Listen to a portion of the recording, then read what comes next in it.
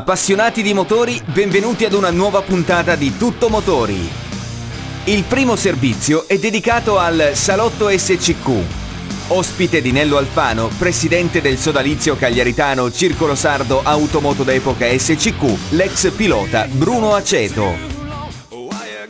Nel secondo servizio, in attesa del Rally Dogliastra in programma dal 22 al 24 maggio, abbiamo intervistato Gianni Coda della scuderia Porto Cervo Racing. In chiusura spazio alle due ruote con l'anteprima della prima prova del trofeo Asi Sardegna di cross disputatasi nel crossodromo di Siniscola Berchida.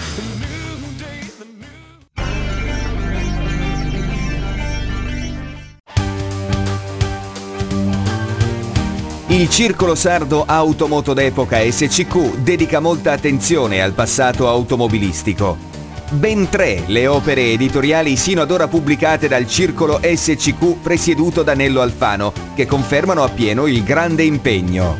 Grazie al Salotto SCQ, ideato e curato dal sodalizio cagliaritano, è in cantiere un altro libro che darà letteralmente voce ai tanti piloti del passato realizzata nell'accogliente location del Sardegna Hotel di Cagliari. In questa puntata della rubrica l'ospite del presidente SCQ Nello Alfano è l'ex pilota Bruno Aceto.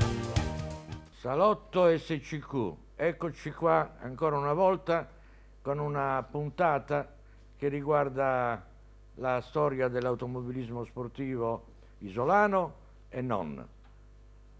Ho parlato di salotto SCQ, amici miei, lo devo ribadire, perché SCQ? Perché sono le iniziali de Sarrolus de Sagarrozza senza Guadusu, l'associazione di cui mi onoro di essere il presidente e che ormai dal 1981 porta avanti nella nostra Sardegna un discorso di tutela e conservazione per le auto di una volta, per l'automobilismo e anche il motociclismo storico si alza il sipario su questa nuova puntata, eh, permettetemelo di dire, ho a fianco a me e gioco un po' in casa in questo senso, un carissimo e simpaticissimo amico, Grazie. pilota eh, degli anni 70 e anche degli anni 80, una persona splendida su tutti gli aspetti, eh, con quella giusta grinta che deriva dall'avere nelle proprie vene il sangue dell'automobilismo sportivo. Bruno, Bruno Accetto.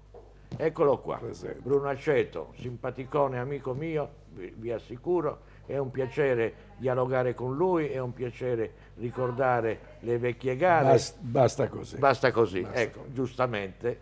Ecco, Bruno, allora, eh, io ti conosco, quindi so un po' le tue imprese, le tue cose, ma i telespettatori lo vogliono sapere con più minuzia. Quando mm. hai iniziato a correre? Allora, io ho iniziato nel 70 con un 131 Abarth preparato per dire da Battaini.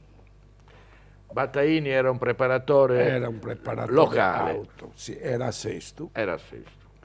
Faccio questa campo un chilometro e mezzo, fusa la macchina. E quindi la tua prima esperienza, prima esperienza è, stata è, stata eh, negativa. È stata questa, neg negativa. Ma per colpa della preparazione dell'autovettura o per colpa o, della tua intraprendenza anche, e della tua grinta? Anche. Può darsi. Volevo arrivare prima, invece non sono arrivato. Niente, poi dopo ho dato il 131, ho parlato con Volta, un grosso preparatore di, Piemonte, Torino, lui, sì. di Torino, che è quello che ha preparato il 131 Abarth del Brizzolato. Di, di Franco grande 131. Io lo chiamo Brizzolato, Brizzolato. scusami. Niente, eh, ho portato il 131 a, a Torino e, e mi sono preso un Betta Monte Carlo gruppo 5. Quindi stavi iniziando già, in, già con iniziando. delle automobili vere. vere. ho fatto una campuomo, purtroppo nella mia classe avevo il signor Brizzolato che camminava come un dannato, avevo eh, Sciarra con l'R5 Turbo che eh, stavano lì per, sempre per un secondo, per un decimo di secondo e io arrivavo sempre terzo. E mi sono divertito. Quindi, però, vedi, L'automobilismo devo dirlo che l'ho sempre preso come divertimento per staccare la- un po' nel lavoro. Mi sono divertito, ho conosciuto molta gente, molti amici veri. Il defunto Sergio Faris, lo devo dire, che per me è stato, anzi mi preparava lo sport che, che poi ho avuto, una grande persona. Niente, poi... ma poi hai avuto poi anche una, dire- una, una Lucchini tu. una? Lucchini, Una che mi Lucchini. preparava Sergio Faris, Ecco, ecco. che per di più un giorno mi chiama, dovevo fare Alghero, il venerdì Bruno, provando la macchina, ho distrutto la macchina, come hai distrutto la macchina? Sergio? Comunque domenica corro ugualmente, vabbè, arrivo lì a Alghero, la macchina era pronta. Hai visto? Niente, poi di cose belle che mi ricordo Ma io credo che tu hai fatto equipaggio anche con Giorgio con Giorgetti. Giorgio Giorgetti, volevo Ecco, dire appunto eh, il vostro, è la, il- la vostra... Sia- io sono lo zio di, di Giorgio, Ah, ecco, c'era una parentela anche. intimissima. Ma il pilota chi era? Io Tu, e, e Giorgetti era il secondo, il, il navigatore. navigatore. non la faccia. Siccome nel, nel beta avevo fatto, c'era la, la, la guarnizione della testata che non era buona, l'ho cambiata, l'abbiamo cambiata e la macchina era lì per lì. Lo facciamo, non lo facciamo, lo facciamo. Andiamo a fare questo rally dell'Oliastra, che mi pare che ha vinto eh, eh, Cellino con un 0,37, ma non sono sicuro.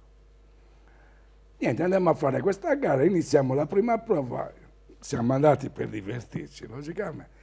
Giorgio invece di darmi destra, sinistra, ponte, stacca, eh, mi faceva solo terza, leva la marcia, metti la quarta, metti la quarta, leva, metti, leva, metti. E così abbiamo fatto il rally. Su, su diciamo, su 73 concorrenti, eravamo arrivati 23 Beh, Ci siamo, ci Cioè, siamo però ci siete, vi siete divertiti. E quando tu, ecco, questo modo di affrontare lo sport automobilistico, ci siamo divertiti.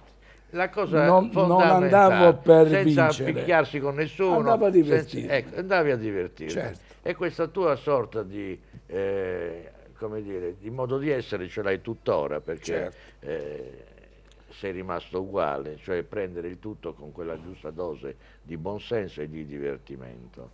Eh, e quindi la tuo- il tuo impegno sportivo, diciamo che sono due decenni. Oh, ma An- c'è da dire che anche dopo aver smesso di correre ho dato una mano a Chicco, eh, A Chicco nelle gare, ho fatto una volta il 20, ora mi ricordo, con la bandiera alla fine della gara. Sono sempre stato nel presente, settore, certo. È certo. cosa mi è sempre Però eh, adesso ti sei poi a un certo punto dato esclusivamente al lavoro, alla tua attività. e poi c'è da dire che superati i 35 anni, Ecco, ecco, quindi eh, diciamo per inciso l'attività di Bruno è la Bruno Aceto, la nuova Bruno Aceto, lo trovate in Viale Monastir, vi assicuro che è un'attività dove trovate e comprate di tutto, dalla Grazie, A alla Z. grazie, grazie, Eh, un sacco di automobili in vendita, solo che sono... automodellismo. au- C'è da premettere che sono anche un grosso automodellismo. Ecco, è un, è un collezionista. Ho quasi 900 esemplari di, di- di modellini che a- penso che a mesi farò una bella sala esposizione Ecco, questo ci e vi inviterò a piacere, tutti. Perché essere appassionati di... Ho dei pezzi molto importanti. Sono rimasto sempre nella la mia passione delle Certo. E per tornare invece al tuo mondo eh, sulle piste, macchine. sulle- Ah, devo, scusi, devo raccontarti un'altra storia. eh, dimmi, dimmi. Avevo il Porsche, vado a fare Eulada, in una curva eh, dove c'era, eh, eh, era presto, era molto bagnato e sono uscito fuori strada. Finito. I scammeroni che me la controllavano, me la viene a prendere, scam- scammeroni, abbiamo finito tutto. Cosa? Andiamo in officina. Andiamo in officina, abbiamo lavorato tutta la notte, la domenica ho fatto la gara. Eh, era pronta la macchina. Era- Questa è un'altra cosa che ricorderò sempre. Eh, beh, sono quegli episodi, insomma, la prima, al- alla tua prima uscita hai fuso il motore. Sono stato un po' sfortunato. Sei in qualche altra prova uscito di strada. eri troppo irruento, Bruno, eri, la voglia di vincere era, era troppa. No, no, la voglia di fare forse. ah, poi c'è da dire che ho fatto un rally con Fisi d'Aquila. Anche. Abbiamo rotto il motore anche lì. Ecco, poi guarda, io immagino l'equipaggio Bruno Accetto, Fisi d'Aquila, Grande piede Fisi, eh. conoscendo anche Fisi Devo dire Fisi d'Aquila, grande piede. È è una persona splendida Grande anche lui. Eh, senti, queste automobili di cui tu parli, ovviamente non te ne è rimasta una. La cosa purtroppo. che mi rammarica è aver dato il 131 che oggi vale 50.000 euro e il Porsche che oggi vale tanti tanti soldi. Però Pazienza. purtroppo eh, non si possono ipotecare Tenerle tutte non le era, cose. non era Però possibile. io ti auguro, e lo farai quanto prima, di acquistare un veicolo storico impegnativo. Lo sto cercando stai cercando. per stare insieme a lei, Esatto, Presidente. per fare poi tante belle esperienze, dove la finalità è sempre quella del divertimento. Divertimento. Del divertimento. Divertimento. E poi io prendo per buona la tua idea che hai manifestato di fare una bella rassegna di modellismo Certo.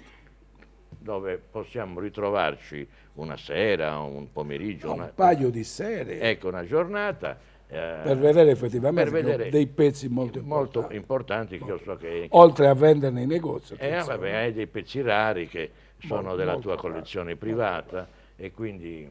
Bruno, benissimo, io eh, ho avuto piacere di averti con me stasera, credetemi, perché è una persona estremamente simpatica. Grazie. Possiamo dirlo che periodicamente prendiamo il caffè la mattina insieme, esatto, certo. e, e- si parla del più e del meno e soprattutto delle dei vecchi ricordi, ricordi Che, non, che non si dimenticano non si mai. dimenticano mai. Eh, Bruno, grazie. Eh, Grazie a te. come ho detto in un'altra trasmissione, abbiamo tutti un po' la nostra età, eh, ce l'abbiamo, però siamo, credetemi, tutti fondamentalmente giovani, perché Malati di automobilismo. Ma- di, auto- di automobilismo. Di, automo- di automobilismo.